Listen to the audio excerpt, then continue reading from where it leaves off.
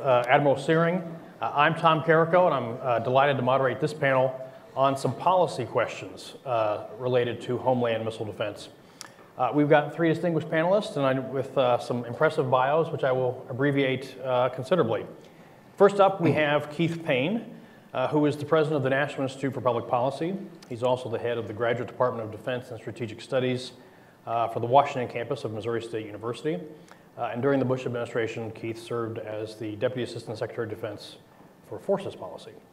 Uh, next, we'll have uh, Dr. Michael O'Hanlon, Senior Fellow and Co-Director with, with the Center for 21st Century Security and Intelligence and Director of Research for the Foreign Policy Program at the Brookings Institution. And cleaning up, we have Dr. Uh, James Miller, President and CEO of Adaptive Strategies. Uh, I got that right? Uh, okay. Yes, yes. And uh, previously with the Obama administration, he last served as Undersecretary of Defense for Policy. Uh, each of these men has written extensively on strategic forces policy and on missile defense in particular. Uh, so we'll just go ahead and get started, beginning with Keith, Mike, and then Jim. Okay. Uh, uh, thank you, Tom. It's a pleasure to be here, especially with three uh, good friends and colleagues from many years. The discussion today that we were asked to look at are some of the fundamental policy questions of U.S. homeland ballistic missile defense. I think it's appropriate to re review some fundamental questions now. We're not just because of the new emerging political changes in Washington, but more so because I think we're entering a markedly new threat environment. It's what I call the post post Cold War era. I'm sure we'll find a better name for it than that, but at least for now, I'll call it the post post Cold War era. Uh, what can we say with regard to the emerging post, post-Cold War environment? What's new, what's different? The nuclear proliferation and terrorism challenges of the post-Cold War era remain with us, but there are some unprecedented threat developments as well. Uh, the Cold War's ideological basis for hostility is largely over, but hostility towards the West now seems to stem from the age-old drivers of history nationalism, ethnic, religious, and linguistic differences and resentments, and power politics. Every post Cold War U.S. administration has sought in earnest to improve relations with Russia and now China. But in this post post Cold War era, Russian hostility is expressed in many ways. Moscow's leadership now honors us in its own way uh, by finding much of its identity and legitimacy in its nationalistic opposition to the United States. President Putin has declared Russia's sacred nationalist responsibility for ethnic Russians, Russian population in neighboring states, and given Russia's military actions against Georgia and Ukraine, some of our NATO allies are very concerned for their security. In addition, Moscow is pursuing its nuclear arms and engaging in nuclear exercises in really an unprecedented fashion since the Cold War. And its expressed nuclear doctrine openly accepts nuclear employment in a range, a wide range of contingencies. Uh, Alexei Arbatov, a well-known Russian defense expert and the former deputy chairman of the Duma's Defense Committee, recently reported that the widely accepted beliefs in Moscow now underlying Russian policy include the following. One, Russia is surrounded by enemies led by the United States. Two, the United States and its allies may invade Russia anytime to seize its natural riches. Three, nuclear weapons are the basis for Russian security. And four, U.S. calls for nuclear disarmament are a malicious U.S. trick. Now, Alexei is no conservative by Moscow standards, and these points sound like paranoid nonsense to us, but in Moscow, according to Arbatov, these are accepted truths. In addition, China is pursuing robust nuclear and conventional force modernization programs. It's pressing Japan very hard in the East China Sea, so much so that Japanese Prime Minister Abe has said that, that the situation in Asia is similar to that in Europe just prior to World War I, equating China with Imperial Germany in 1914. In this dynamic emerging post post Cold War threat environment, it's no small thing to ask what do we want from ballistic missile defense and from defenses more broadly. Over the past six decades, US BMD policy has at one time or another emphasized each of the following goals defense of forward-based forces, defense of allied territory, defense of U.S. ter- territory against accidental or unauthorized launch, the defense of U.S. deterrent forces to help provide their survivability in conformity with the balance of terror framework, defense of U.S. territory to disrupt a strategic attack and thereby contribute to deterrence, and finally, defense of U.S. and allied societies in a bid to mitigate or overturn the balance of terror as a basis for deterrent stability. At one point or another in the past decades, each one of those has been emphasized in U.S. policy. Current express U.S. policy appears to include homeland defense goals against some long range missile threats, such as that from North Korea and prospectively Iran, but not from Russia or China. It appears intended to defend U.S. society selectively, depending on the national origin of the missile launch. In particular, frequent U.S. expressions that U.S. BMD is not capable against Russia or China, nor is it intended to be so, give us this feeling. A question for the emerging post post Cold War era and pertinent to this meeting here today, I think, is should we prepare to defend U.S. and allied societies, i.e., homelands, directly against missiles from any azimuth, regardless of their national origin? And if so, what level of, of effectiveness will we define as success? And what long range missile capabilities are to be included? China's, for example? Let's look at how these questions were considered, questions of homeland defense were considered during the Cold War and the post Cold War eras. And in, in, doing so this morning, I'm going to be drawing a bit on some excellent work by my colleague, just completed by my colleague Kurt Guthe. Uh, it's important first to recognize that for every presidential administration from Truman to Obama, limiting damage to U.S. territory in the event deterrence fails has been a goal.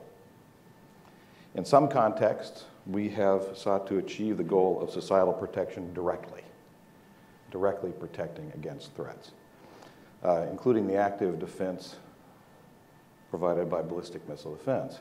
For example, the Johnson administration's Sentinel BMD program of the late 1960s was intended specifically for homeland defense against Chinese missiles. However, against large missile threats, such as that posed by the Soviet Union, U.S. policy has focused much more, U.S. policy focused much more on intra-war deterrence and indirect means of limiting damage to U.S. society if deterrence fails. And this U.S. focus, the decision in the early 70s to, to rely on intra-war deterrence, vice direct defense for homeland protection, corresponded with the general, reject, general rejection of direct defenses, including ballistic missile defense and air defense.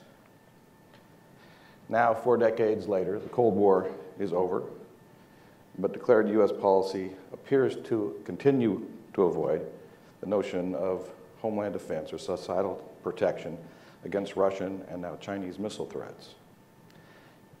Five basic arguments typically are made, were made, and are made in support of that focus, that decision. Let me take a, just a minute to identify each of these arguments. First, nuclear deterrence can be relied upon to prevent nuclear attack by large established powers. So thick societal defenses are unnecessary. As the late Professor Kenneth Waltz, one of my professors at Cal many years ago, asked rhetorically, who needs unreliable defense when we can have reliable deterrence? With deterrence instead of defense. Second, defensive measures cannot be sufficiently effective to provide a meaningful level of homeland protection against a large missile threat. That goal is simply impossible to reach. Third, even if technically feasible, the cost of meaningful societal protection against a large threat is unaffordable. Fourth, U.S. Homeland Defenses would compel an opponent to consider striking first for fear of losing its deterrent. That is, U.S. Homeland Defenses will cause first strike deterrence instability. And fifth, societal defenses would cause arms racing because they would provoke offsetting Russian and Chinese increases in their offensive arms. These are the five canonical arguments that have been made for the past five decades with regard to focusing on intra-war deterrence as a means of protection as opposed to, direct, to direct defense. Let me take just a minute to review each of these five arguments in the context of the post, post-Cold War era. First, if deterrence really were foolproof, as is suggested by Professor Waltz's rhetorical question, the value of defenses would be limited indeed for homeland protection. But there is no assurance of deterrence working, given the great diversity of threats, decision makers, and stakes in the post Cold War era. Consequently, a question to be considered new for this era, given the potential for deterrence failure or irrelevance, is should Homeland Defense programs be designed to directly mitigate any missile attack? Or is relying on indirect intra-war deterrence the best protection that we can get in most cases, or some cases? And if direct defense is a choice, is Homeland Defense against Chinese missiles a goal? Second, general claims that meaningful societal defense is technically infeasible just simply are bogus. That feasibility is a matter of the nature of the threat, the range of the defenses in play, the security context, and the level of protection deemed meaningful. Consequently, a pertinent missile defense question, homeland defense question for the post-Cold War, post-post-Cold War era include what level of societal protection and effectiveness may now be possible against what size threats and in combination with what other direct defensive measures. Third, general claims that meaningful societal protection is unaffordable are likely to be false in at least some contexts. The cost of different damage limitation measures can vary considerably, and affordability depends on many factors that can change and will change over time, including the urgency of the demand, the extent of the threat, the overall budget constraints, and competing demands.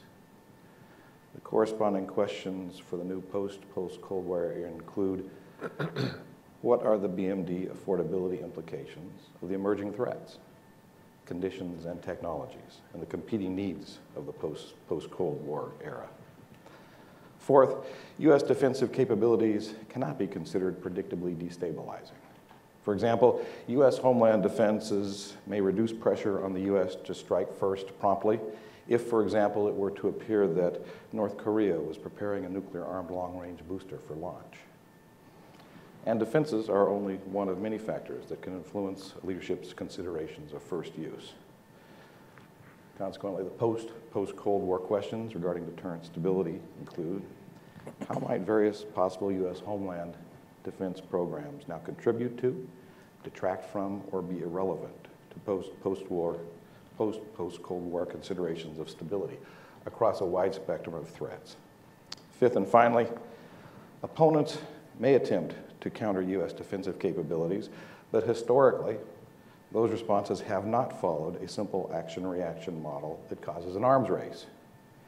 And U.S. BMD restraint has not reliably elicited an opponent's corresponding offensive restraint. Many factors beyond U.S. defensive programs can shape an opponent's armament decisions. Consequently, BMD questions for the post-post-Cold War era include what factors may drive key opponents' armament decisions, in what context, in what directions, and can we anticipate how U.S. Homeland Defense may affect these decisions across multiple potential opponents?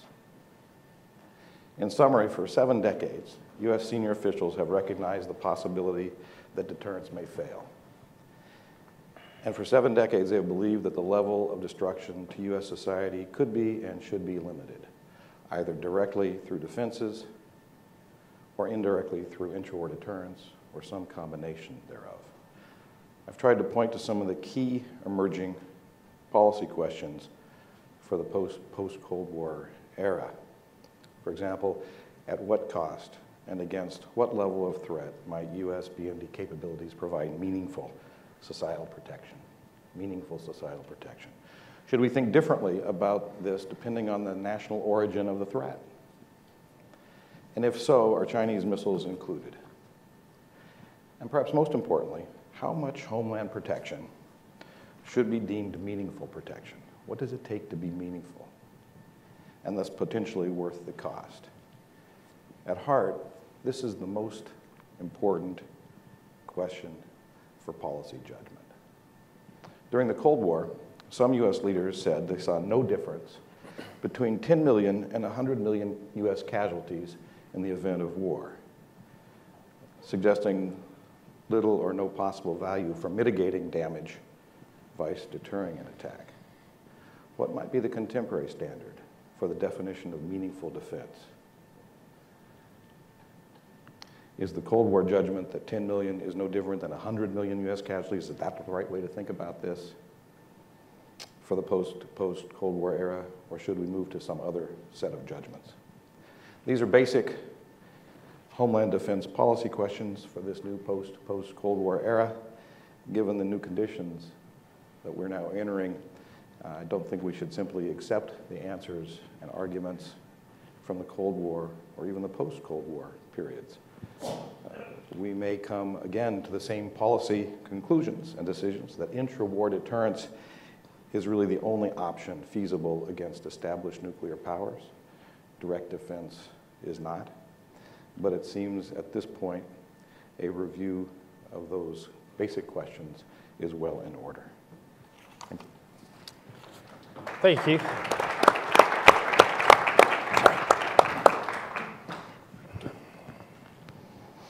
Good morning, everyone. Uh, Good to see you.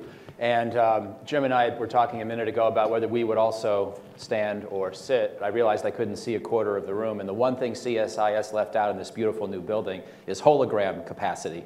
So I was, I was not going to be able to see your faces, so I decided just to, to stand for my brief remarks. Um, I guess we don't need these. I just want to make three points, and I'm very glad that Keith raised the China question right up front. And I'm going to offer a different perspective on China, a thought briefly on Korea, North Korea, related to the earlier excellent presentation by the Admiral, and then a final thought on boost phase defense, and just make those three points and look forward to, to Jim Miller's thoughts as well. On China, uh, I think Keith is right to ask us to raise fundamental questions, but having done so myself, I come down on sort of the other side of the question, which is to believe that it's just not realistic to believe we are going to improve our net security if we try to build a national missile defense architecture that explicitly tries to deal with damage limitation vis-a-vis China, because I think the most likely reaction by far is a Chinese de decision to no longer show restraint in the nuclear realm the way that I believe it has for most of its history. Now, I know there are debates about just how much nuclear capacity China has. There's some uncertainty. We should press China for greater transparency. We may want to try to bring China into arms accords at some future date because there are going to be ongoing debates, as there should be, about the uncertainties in what they actually possess. But the evidence that I've seen so far suggests that China is showing restraint, at least in this domain of its national security policy, and we should be hesitant to jeopardize that. Uh, Keith spoke a great deal about Russia. I won't go into all the Russia angles, uh, but I come back to a traditional arms control view there as well uh, which basically is that if we were to engage in an offense-defense arms race, the most likely outcome is going to be worse for us. Now with China, I think they actually have the resources to build offensive interceptors just as fast or faster than we can build defensive ones. Russia may not have quite the same capacity, but the balance of technology is still such that defense among relative uh, peer competitors is the harder job. So I am not enthusiastic about attempting that vis-a-vis either China or Russia. That's point one. Point two, however, this all looks a little different when you think of the North Korea case. Because in the North Korea case, we have enough asymmetric advantages that, in fact, we have a decent chance of being able to build at least a reasonably effective national missile defense capability. And I support the thrust of what we've heard this morning from the Admiral Obviously, we need to get better at a lot of the technology components that are part of this system. And I know Jim Miller worked hard on that as Undersecretary. A number of you have been involved. We'll hear more about that in the third panel as well. Uh, but I think in general, we have not only the technologies of improved interceptors, the hope for an improved redesigned kill vehicle uh, and such, but we also have other advantages that I could at least briefly mention, which relate to the overall integrated way in which you try to deal with the North Korean threat in the context of a crisis or a war. And these have to do, frankly, with theater assets of an offensive variety. And even though I'm not sure where the North Korean threat will be in five or 10 years, and just how mobile their ICBM force could be, and just how easily uh, they could develop solid fuel technology to make it rapidly launchable, I believe that for the foreseeable future, we will actually have a fairly good chance of preempting a lot of their long-range missiles on the launch pad in the event of war. And I think that's a very important point to bear in mind because we're not talking about preventive war. This is not another 2003 invasion of Iraq. This is not a controversial decision of that sort. I'm imagining a situation in which we are already in a crisis, conflict, or war. And then we start to see the North Koreans fueling multiple ICBMs on the launch pad. I don't think it's practical that we would let that happen. And therefore, I think it's going to be a combination of offensive and defensive assets that work to our advantage in that situation, which make the admiral's job a little more doable, even though the thrust of technology is still such that offense, I think, in theory, in the abstract, has the relative advantage over defense in the missile defense competition. So my second point simply is that I believe the North Korean threat is one that we should continue to try to address through both offensive and defensive means because the combination and the synergy of those gives us a pretty good chance of at least uh, reasonable success. And that's probably true as well in regard to a hypothetical Iranian threat, but I won't get into that right now. Final point, the logic of what I've been saying about both China and North Korea leads me to want to keep a little bit of focus on a, a kind of technology that we heard and talked a lot about in the 1980s in the Strategic Defense Initiative context, that we thought about a fair amount through the 1990s and 2000s, but we're tending to de emphasize right now, and that's boost phase defense. And specifically, what interests me is ground based or sea based boost phase defense. Because in addition to the fact that this allows you to potentially intercept an offensive ICBM before it can deploy decoys, it also works extremely well, geographically speaking, against a country with the location and size of North Korea. Because we have our Japanese ally and the Sea of Japan waters that are immediately to the east of where North Korea would be launching from.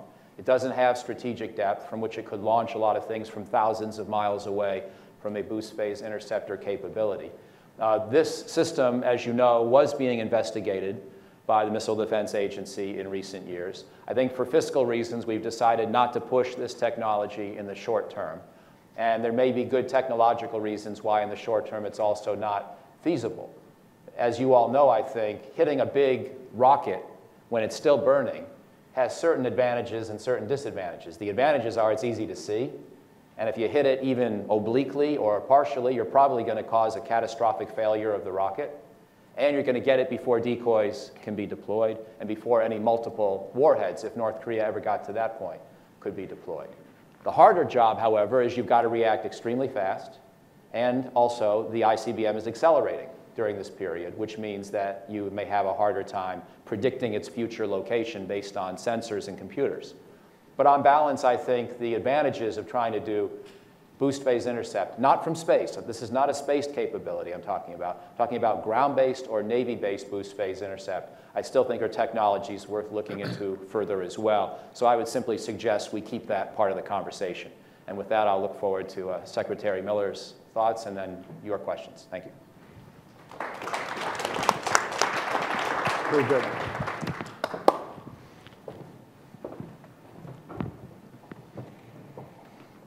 Thanks, Tom, for hosting today. It's great to be on a panel with uh, Keith and Mike and you. Uh, a lot of depth, a lot of knowledge about strategic issues, including missile defense. Uh, it was great to see Jim Syring here, and always great to see Kath Hicks, with whom I had the uh, honor to work in the Department of Defense. And it is uh, also great to see so many old friends in the audience, and I use that term somewhat advisedly as well. Um, I wanted to make five points today, um, and uh, they overlap pretty substantially with both um, uh, Keith and Mike's points.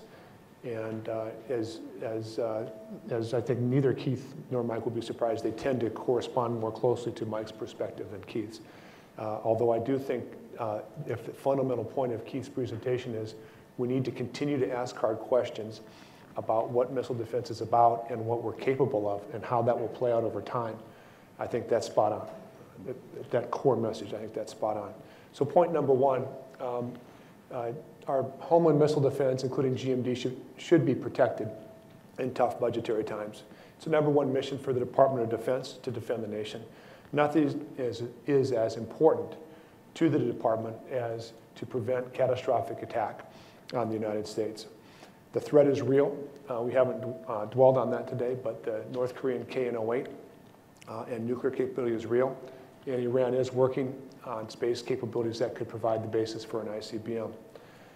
Um, we want to be ahead, uh, not behind this threat. That's the rationale for having a system in place and actually going from 30 to 44 ground-based interceptors. Uh, uh, we want to be ahead and we want to be prepared uh, should it grow in the future. As we think about the broader context, our allies and partners globally can contribute to a lot of capabilities. They can contribute to theater missile defense. They can contribute to strike capabilities. They can contribute to intra-theater lift and many other missions. No one else is going to defend the United States of America. Uh, so that, that needs to be on our military.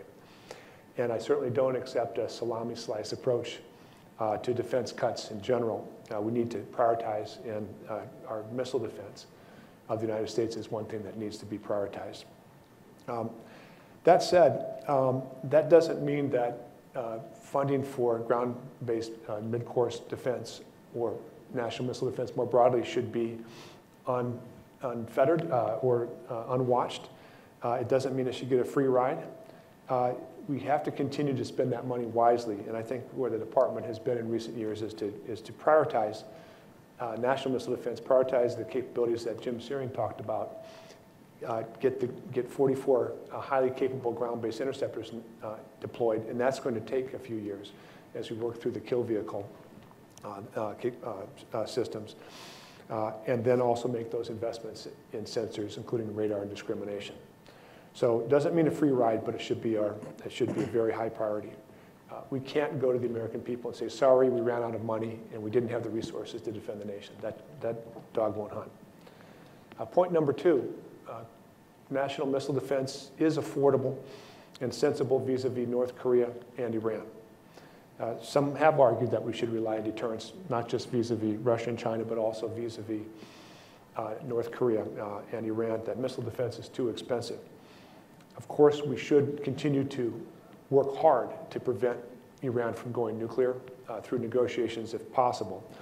And we should continue to work to roll back North Korea's nuclear program.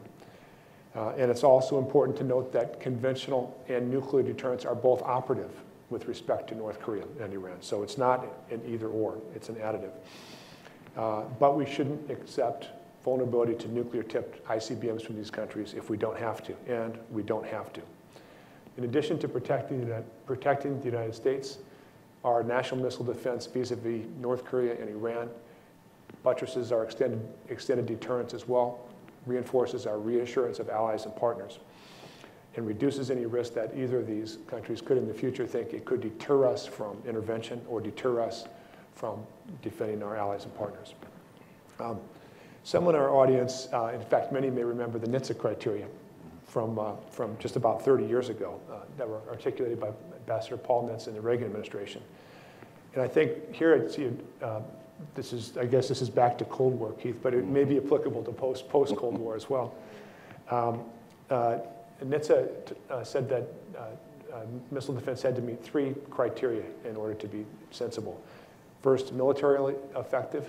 Second, adequately survivable and third, cost effective at the margin. And implicit in all that is that that would be sustainable for a reasonable period of time. In other words, if you achieved it for five minutes and then reverted into an arms race, uh, that would not be a, a, a good outcome. Uh, to me, those criteria still make sense, and if you look at them uh, with respect to North Korea and Iran, uh, they're, they're, applicable. The, these emerging threats are small enough uh, and techno technologically limited enough that we can still be militarily effective, militarily effective. And though our system couldn't survive a Russian or Chinese attack, it can be survivable enough for North Korea and Iran. And finally, even though North Korea and Iran may build missiles more cheaply than we can build interceptors, with the US economy 50 times the size of Iran and the difference growing, and the US economy 1,000 times the size of North Korea and the difference growing, we also can be cost effective at the margin. It can something that's affordable for the United States. None of these criteria fit for Russia and China as we look forward into the future, today or, or in the future. Uh, Russia and China both have the capacity to deploy, to deploy advanced countermeasures. uh, that would make our system military ineffective. If we come up on new technologies that change that equation, then we should certainly have a fresh look. I haven't seen them. Uh, both countries have the capacity to attack vulnerable nodes of our system, uh, of our missile defense architecture, with both conventional and nuclear weapons. So from my perspective, and I think an analytical perspective, from now and into the future, it's not adequately survivable uh, vis-a-vis these uh, two actors. And finally, uh, each of them, China and Russia, could use the resources of very large economies to deploy many more ballistic missiles, more nuclear weapons, and other delivery vehicles needed to overwhelm our defenses. So that's point number two. Affordable and sensible for North Korea and Iran, not so for Russia or China. Point three, and it follows directly on this, we need to sustain what I would describe as the right amount of national missile defense, and we're well postured to do so. And the right amount in today's world and the world that is most likely for the future is sufficient to defeat any North Korean and Iranian capability, but not enough to impact strategic stability, including arms race stability, uh, vis-a-vis Russia and China. Uh, today, we need ground-based interceptors to work against a limited number of first-generation ICBMs like the KN-08. Uh, over time, North Korea uh, may improve that capacity, and we need to be prepared, as Admiral Syring talked about, to defeat that capacity. That's still a fair bit below where Russia and China are and are capable of, of being. Uh, if we attempt to develop a system to defeat Russia and China, according to any technology that I've seen, uh, not just what's available today, but what's, uh, uh what looks feasible within, within at least a couple of decades, uh, we would expect uh, their countermeasures, including growing their offensive program, including technical countermeasures of Russia and China to be able to defeat that. Um, two final points, subpoints, I guess. Contrary to the fears of many in Russia and China, our missile defense system is not oriented toward defeating uh, their nuclear deterrent. If, don't, if they don't like our missile defense system, and I've gotten substantial indications when I was undersecretary that they don't, uh, uh, the best approach for them, in addition to uh, working together to exchange information about threats and so forth, is to work to stop uh, Iran from going nuclear and to work to roll back North Korea's nuclear program as well. Um, we don't have the resources to waste more on national missile defense than we need, and we certainly don't need to get ourselves in an expensive arms race that would reduce our security vis-a-vis -vis Russia or China. Uh, subpoint two on this, however, um, once we have a deployed system, this is true for national missile defense, it's true for theater missile defense as well. Our policy of saying that we don't want to affect strategic stability vis-a-vis -vis Russia and China does not mean that we would not use that system to attempt to engage an ICBM or other missile if were shot at ourselves or at our allies. Of course we would. Uh, what what our current policy means is that we're not trying to build a system of the scale or technical capacity to be able to comprehensively uh, defeat a Russia or China's Chinese attack, or indeed, uh, realistically, it would have very minimal impact on that. If a missile is launched at the United States, of course, the United States will use whatever capabilities it has uh, to try to defend against it. Uh, we wouldn't expect to be very successful vis-a-vis -vis, Russia or a Chinese attack. Uh, point Number four, and I think this is self-evident from Admiral Syring's presentation this morning, we have substantial time to make a decision uh, on an East Coast uh, ground-based interceptor field, the so-called East Coast missile field. Uh, as Admiral Syring noted, we've got 24 months to go on environmental impact assessment uh, to get to an environmental impact statement. Uh, in principle, that could be, uh, could be compressed. It would take the cooperation of Congress and the administration, but in the event of a national emergency, I would hope and actually expect that that could be done. Uh, but the reality is, if we've prioritized in the near term on getting uh, from 30 to 44 interceptors, and more importantly, from ensuring that the interceptors that we have deployed are highly capable, those interceptors will be able to provide coverage against both North Korea and Iran. That number growing from 30 to 44 by 2017 is sufficient to deal with uh, uh, any threat that is is uh, likely or foreseeable from those two in that time frame. So any additional capacity and uh, any, any deployment of an East Coast missile field can safely be to the right of that, uh, from, from, uh, certainly from my perspective, and I think that, I think that makes sense. Focus today on making uh, the current system work and getting from 30 to 44. Uh, Let me rephrase that. Uh, Focus today on improving the current system.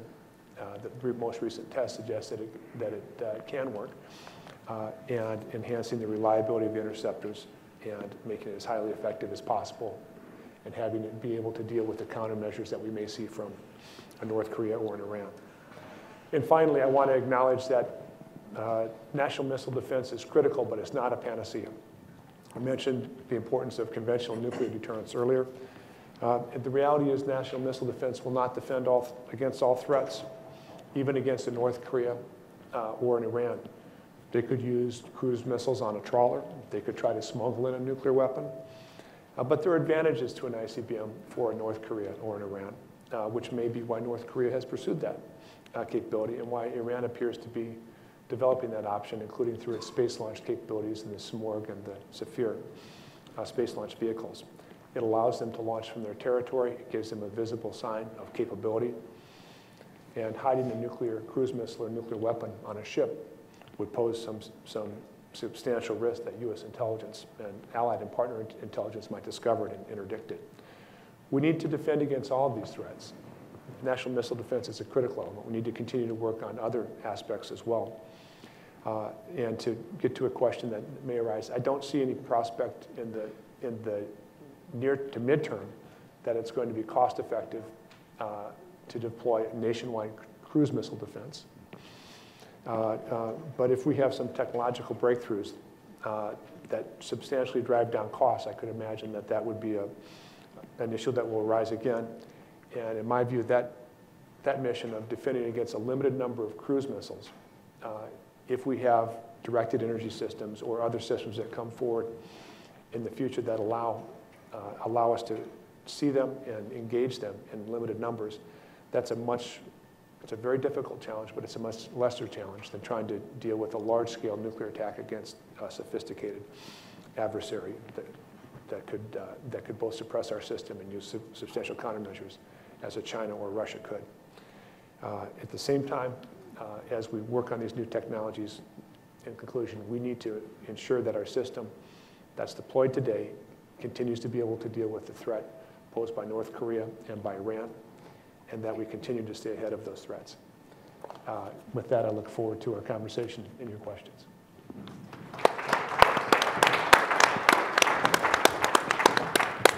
Well, thank you, gentlemen. Uh, I asked them to, to kind of probe on, on the fundamental questions, and I think uh, each of them did that uh, in different ways. I think, in fact, each of them touched upon that language from the 60s and 70s about thick versus thin, uh, which was very nice.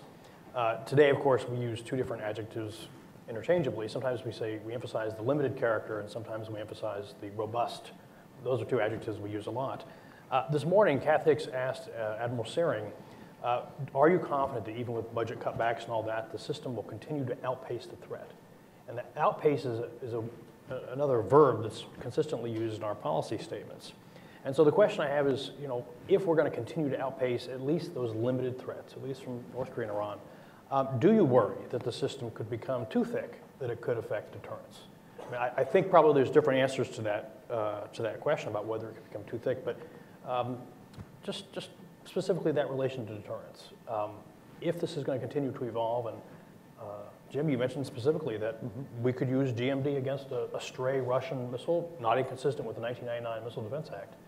Um, what's the future of deterrence in relation to missile defense on this? Sure, I'll, I'll Anyway. take a, I'll take a first answer, and then, then uh, I know Mike and Keith will both have, have ideas as well. Um, I, uh, having left the department earlier this year, I'll say based on the last information that I, that I had in my position, uh, I'm confident that we have the capacity to stay ahead of the, of the North Korean and Iranian threat as long as Russia and China do not transfer uh, technology to them. And I think it's clear that it's not in either country's interest to do so. Uh, We've had the conversation and made it clear that, that we would, that the United States would see that as a, as a, as a grave step.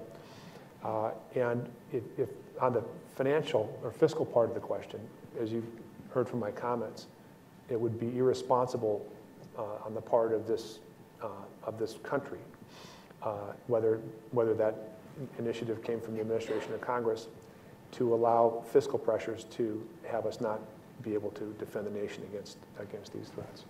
And I don't, I don't, I don't, I don't see any indication that either the administration or Congress would allow that to happen.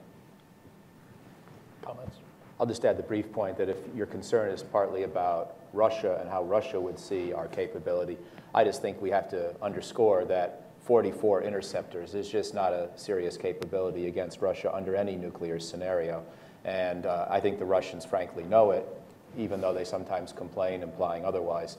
And so, um, of all the things that I think we have going on that are tense and difficult in the US Russia relationship, I, I don't feel that we should go out of our way to somehow mitigate any hypothetical worries because I don't really think that they're that serious. They're not, they don't hold up technically, and I think they're more in the realm of talking points. So I think the, the fundamental point is 44 ground based interceptors is not a serious capability vis a vis the Russian arsenal. Yeah, uh, Tom, I think the, um, your question actually suggests an important point, and that is when does the advance of missile defense begin to impinge upon deterrent stability? I think that's where you're going. As if, that there's, as if there is a generalized answer to that question. Uh, and this comes out of our Cold War experience where when we were dealing with the Soviet Union, we reached a lot of generalized answers, and they become bumper stickers. What, I'm trying, what I was trying to suggest earlier, and, and Jim got it right, I was asking a bunch of questions that I think are suitable for the post, post-Cold War period, and that is, in, in this environment, I don't think any generalized answer about the implications for deterrence is going to suit very well because the threats are too diverse. The spectrum of contexts are, is too diverse. The stakes at risk are too diverse to give you sort of a glib answer. Oh, well, when the United States hits 200 interceptors, then all of a sudden we've undermined deterrence. Maybe, maybe not. Nobody up here knows because deterrence is on the occasion with the opponent, specific opponent, over specific issues. I'll give you an, I'll give you an example. Um, I had a meeting with some uh, senior Allied folks, uh, and I, I, guess I should presage this by, and it also depends on by what deterrence are you talking about? Deterrence of whom for what purpose? Uh, a meeting with some senior Allied folks, and they brought in the 2010 NPR, which, by the way, I thought was a very good document. Uh, and so these Allied folks want to talk about the 2010 NPR, and, and it was all their copy was all dog-eared with flags and such, so they they'd read it well. I said, uh, "Is there any line in here that takes you in particular?" And they said, "Yes." There, there's a line in here that really has hit a red flag in our capital. And I said, well, what line is that? And the, the, the point was that you're going to pursue stability with China. But we understand what that means. That means you're going to pursue mutual vulnerability with China. That means when push comes to shove and we're at risk, you're likely to stand down. Now, I don't know whether that's true or not. I mean, I know that the concern was true. I don't know whether that prediction is true or not. But what that says is that we have at least some allies who are concerned about uh, the, the, thickness of defenses, the, vari the variability of the defenses and the threats, and how that affects their particular situation.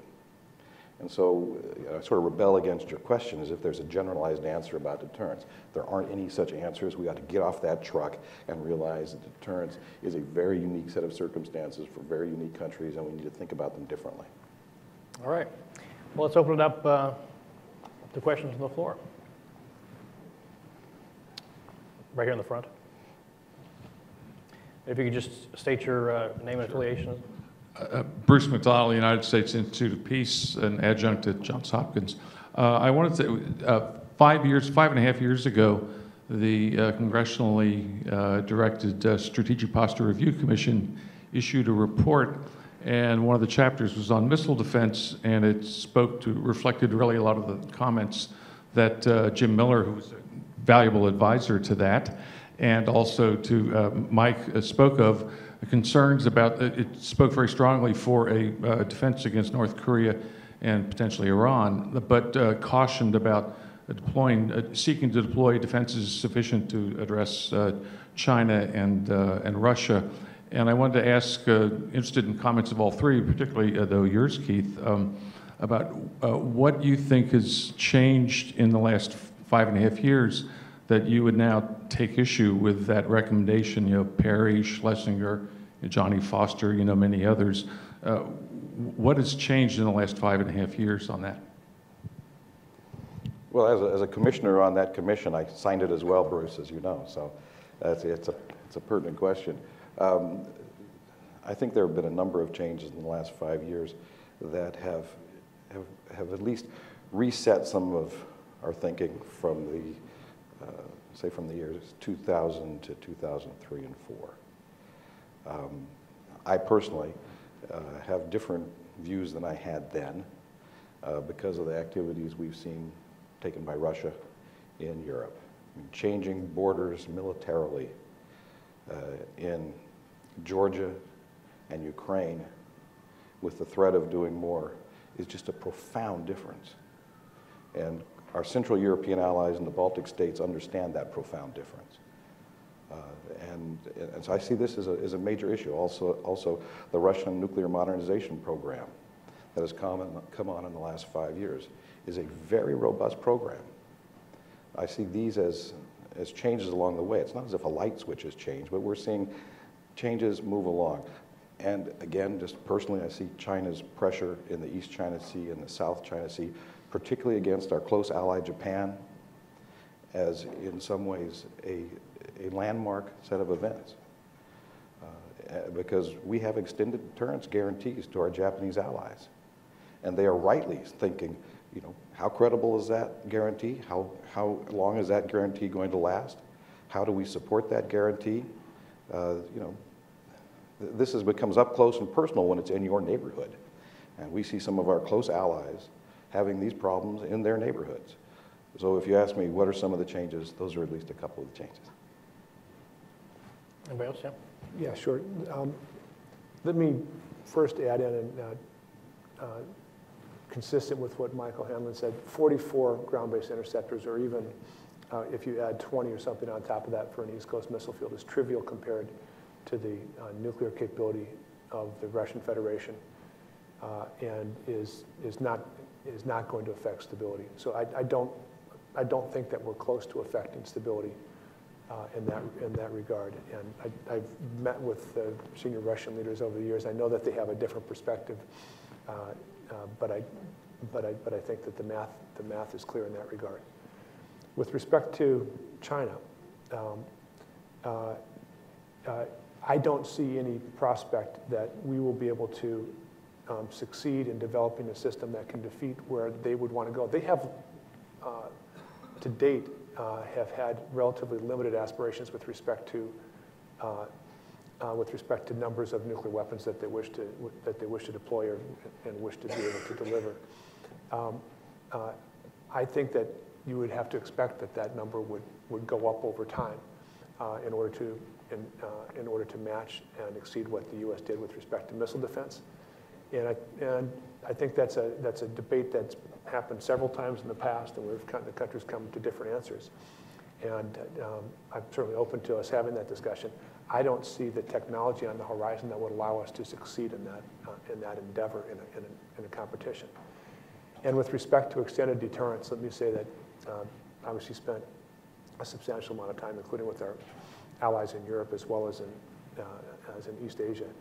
And the combination of, I think, of our uh, expanded extended deterrence consultations, the fact that we have substantial military capabilities and personnel on the ground, uh, and have the capacity uh, to forward to uh, uh, both forward deploy additional capabilities uh, and to and to reinforce in the event of a crisis or conflict is understood by our, by by our allies, and that the that the missile defense, the national missile defense, is not a fun uh, vis-a-vis China is is not the fundamental issue in that regard. We've got one minute left. Any last comments? I'll pass. Okay. All right, well, we're going to end on time. Uh, we'll be back in five more minutes with another panel on uh, digging into the weeds of some programs specifically. So thank you all uh, again. Please help